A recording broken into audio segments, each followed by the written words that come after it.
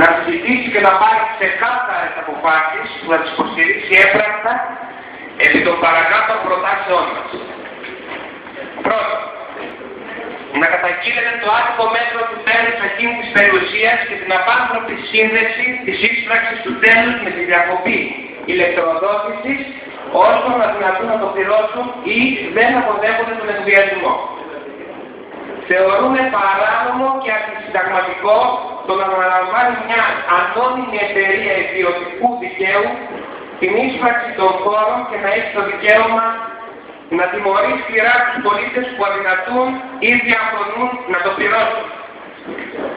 Δεύτερο, να καλέσετε όλους τους δημότες της πόλης μας που αδυνατούν ή διαφωνούν να το πληρώσουν να μην καταβάλουν το τέλος εκείνης της περιουσίας αλλά μόνο το υπόλοιπο ποσό του λογαριασμού μέσω ATM, ATM συγγνώμη, των τραπεζών.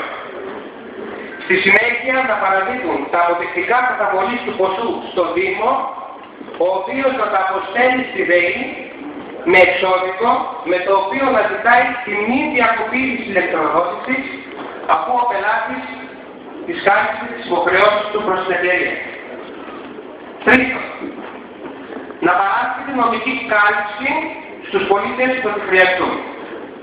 Τέταρτον, να δημιουργήσετε τη συνεργασία μαζί μας και με όσους φορείς της πόλης μας επιθυμούν να συμβάλλουν και στη συνεργασία με τους εργαζόμενους στη ΔΕΗ, ομάδες πολιτών που θα αναλάβουν να αποτρέπουν τα συνεργεία διακοπής ηλεκτροδότησης, ηλεκτροδότησης να μην τα κόβουν το ρεύμα των πολιτών.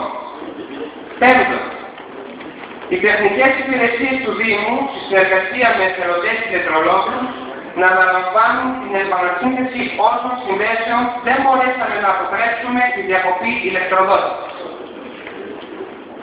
Η υιοθέτηση των προαναφερόμενων προτάσεών μας εξασφαλίζει ότι κανένας κάτοικος της Βέλγιας δεν θα αναγκαστεί να κάνει Χριστούγεννα χωρίς ηλεκτρικό ρεύμα.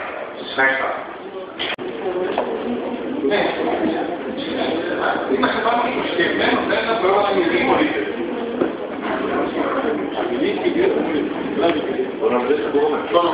Καλησπέρα. Ε, παρακαλώ, προσφυλία λέγομαι. Ήθελα να ξεκινήσω αλλιώς, αλλά θα κάνω μια μικρή αλλαγή. Ε, καταλαβαίνω και τις διαδικασίες σας, τα πρωτόκολλά σας, αλλά προσωπικά δεν μπορώ να φανταστώ ότι στο σπίτι μου τόσος κόσμος και θα το πω πρώτα να τελειώσω τις δουλειές μου και μετά θα τους κάνω έναν καφέ μαζί και να μιλήσουμε.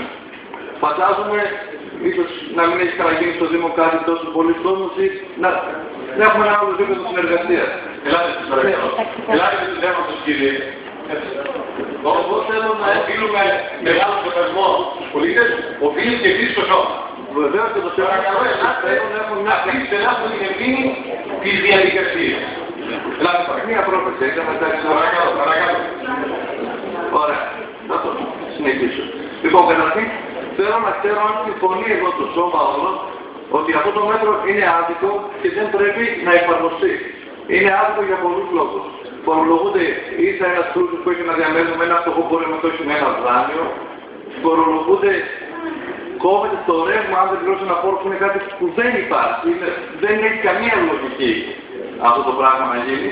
Και επίσης, αν εμείς δεχτούμε αυτό το πράγμα ότι θα πληρώνουμε πλέον τους φόρους των χρέων της ΔΕΗ, μετά τι θα γίνει, πώς, τι θα μας κάνει τους φόρους, να πληρώνουμε μετά μέσω νερού, μετά που δεν πληρώνει το φόρο του, θα πηγαίνει η εξορία, θα κάθεται 10 μέρες, δηλαδή πολύ παράλογο πράγμα.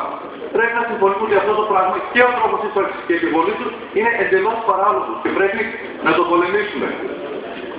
Ένα δεύτερο, αυτό που ξέρει καλύτερα από μένα και πρέπει να εφαρμοστεί όμως, είναι ότι εδώ ο Δήμος δεν είναι για να εφαρμόζει αυτά που επιτάσσει εξουσία στους πολίτες.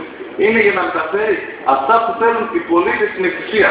Δεν μπορούμε μονίμως να λέμε ότι υπάρχει ένας νόμος και τι να κάνουμε πρέπει να εφαρμοστεί. Είναι δίκαιος αυτός ο νόμος, είναι σωστός. Μαζί με το λαό, όταν υπάρχει πρόβλημα και αδικία, ο Δήμος να είναι με το λαό και να ενάγει στην εξουσία και όχι να επιβάλλει την εξουσία. Αυτός ο νόμος δημιουργεί κάποιες αντιδράσεις. Είναι ο κόσμος που δεν μπορεί να τον πληρώσει και πρέπει να το σεβαστούμε όλοι. Είναι ο κόσμος που δεν θέλει να τον πληρώσει παρόλο που έχει τα χρήματα γιατί διαφωνεί με τη λογική και την πρακτική. Σε, αυτό το, σε αυτούς τους δύσκολους καιρούς που περνάει η πατρίδα μας. Και εν ώψη της επαιτίου της 16ης μέρας του 1973, λέγοντας ένα μεγάλο ψωμί παιδεία ελευθερία που ισχύει ακόμη και σήμερα, συνεχίζω, συνεχίζω και συμπληρώνω τους φίλους που μίλησαν πριν από μένα περιμένοντας την απόφαση του ΣΕ για τον εκδιαστικό μηχανισμό σε παρένθεση αυτονομικό προστάσιο του κράτους ίσπραξης νέων πόρων μέσω της ΔΕΗ ως πολίτες αυτής της πόλης. Και γενικότερα της Ελλάδας ζητούμε τουλάχιστον από την πλειοψηφία του Δημοτικού Συμβουλίου να προειδοποιήσει τη ΔΕΗ και τους αντολογόκους με μηνύσεις και πολλούς άλλους τρόπους βέβαια εάν δεν δείξει τη φυσιώδη κοινωνική ευαισθησία να αφάσει η ΔΕΗ από κάθε αντισυμβατική, αφαίρεση, αντισυνταγματική και κατακριστική ενέργεια διακοπής ηλεκτροδότησης. Ζητούμε από εσάς που σας θεωρούμε κοντά μας και δίπλα μας, γιατί σα βλέπουμε κάθε μέρα και σα λέμε καλημέρα και μας λέτε καλημέρα, να προχωρήσετε όπως όσοι άλλοι δίνει, αν θέλετε να τους αναφέρω πιο ονομαστικά, σε όλε τι απαιτούμενε ενέργειε και την απόκρουση αυτή τη ληστρική αντισυνταγματική διπλή φοροεπιδομή, όπως λέει και ο συνταγματολόγος ο κ. Κασιμά.